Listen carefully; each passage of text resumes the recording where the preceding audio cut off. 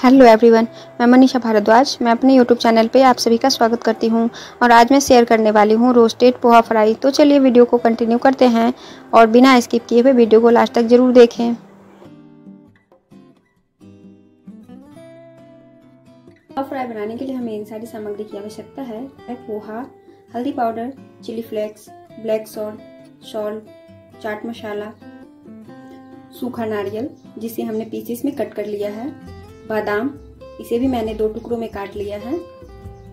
काजू को भी मैंने टुकड़ों में काट लिया है।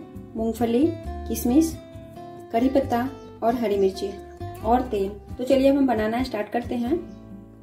गैस पे हमने एक फ्राई पैन को चढ़ा दिया है। पैन हमारा गर्म हो चुका है। अब हम इसमें तेल डाल देते हैं।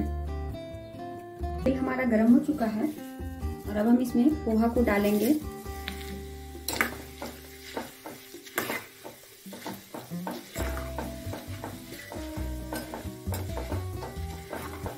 बस, अब हम इसे निकाल लेते हैं। निकाल के हम इसे टिश्यू पेपर के ऊपर डाल देंगे, ताकि इसका एक्स्ट्रा ऑयल जो है वो निकल जाए। वापस से हम इसमें पोहा डाल देते हैं।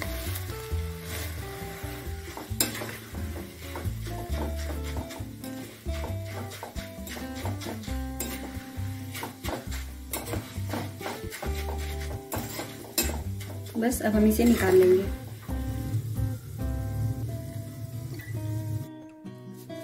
बाकी के बचे हुए पोहा को भी हम इसी तरीके से फ्राई करके निकाल लेते हैं।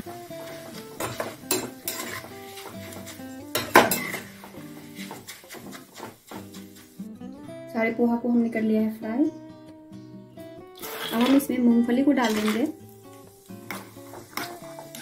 और इसे भी हम फ्राई कर लेते हैं। गैस की फ्लेम को हमें यहाँ पे लो पे रखना है। बस मूंगफली भी हमारा हो चुका फ्राई और अब हम इसे निकाल लेते हैं। अभी हम इसमें काजू डाल देते हैं और इसे भी हम कर लेंगे फ्राई। काजू बहुत जल्दी फ्राई हो जाती है। देखिए, काजू का कलर चेंज होना शुरू हो गया है। बस, अब हमारा काजू जो है वो फ्राई हो चुका है। अब हम इसे निकाल लेते हैं। अभी हम इसमें बादाम को डाल देते हैं।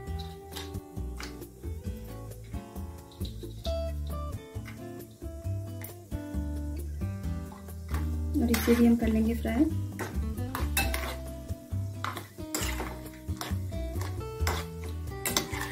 बादाम का भी कलर चेंज हो गया है और अब हम इसे निकाल लेते हैं।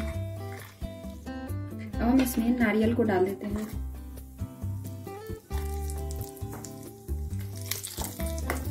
और इसे भी कर लेंगे फ्राई।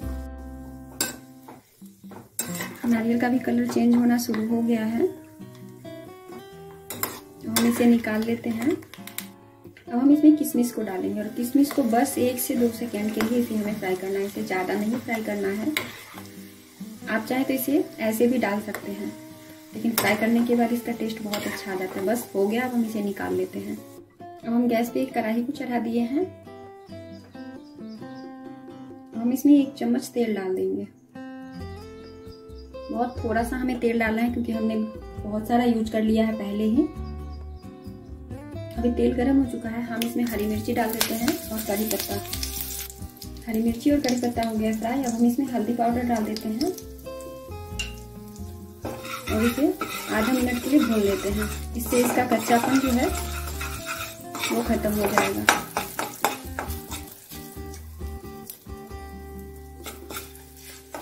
बस, अब हम इसमें जो ड्राई फ्रूट, फ्राई करके रखे थे, उसे डाल देते हैं। इसे करेंगे हम अच्छी तरह से मिक्स। अब हम इसमें जो पोहा फ्राई किए थे उसे डाल देते हैं और इसे भी हम कर लेते हैं मिक्स।